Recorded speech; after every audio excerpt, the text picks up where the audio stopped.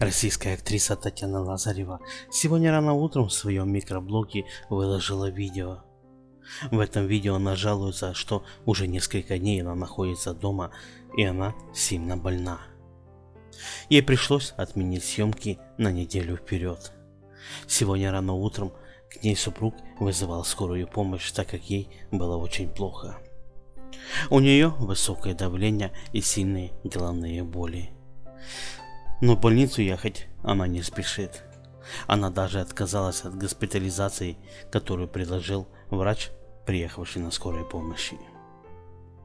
На данный момент ей поставили несколько уколов, и она находится дома под присмотром врачей.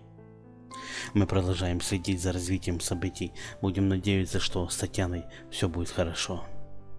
Подписывайтесь, друзья, на наш канал и не упускайте из виду наши выпуски, которые выходят на нашем канале каждое утро. Будьте всегда с нами.